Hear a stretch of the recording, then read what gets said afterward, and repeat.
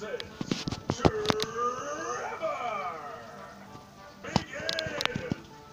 Yeah.